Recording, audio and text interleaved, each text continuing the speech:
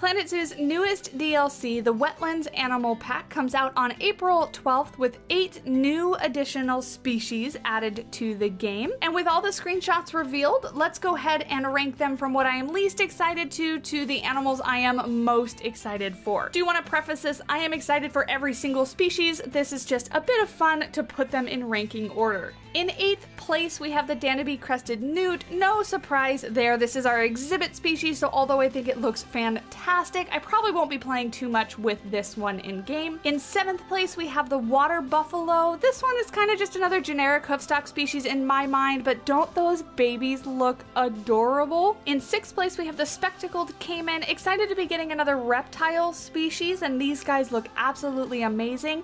I'm also excited that they'll be slightly bigger than the other caiman species we have in game, so I'm excited to build for them. In fifth place is the African hoofstock species, the Nile lechwe. These guys look absolutely amazing with their highly contrasted colors, that dark brown with that bright white on its back. Very excited about these ones. In fourth place is the largest rodent species, the capybara. This one might be a bit controversial and not many of you might agree, but for me, three of the other species just beat these guys out for their rankings. In third place is the Asian small clawed otter. This one was incredibly hard for me to rank because look at that face absolutely adorable and I'm excited to see these ones in game. In second place is the platypus. I am ecstatic to be getting the platypus in game. It's such a unique creature with its bill, its webbed feet, the fact that it's a mammal and it lays eggs. I could go on and on and on, but that means that in first place we have the red crowned crane. I am an absolute bird lover and I am always here for more bird species in Planet Zoo.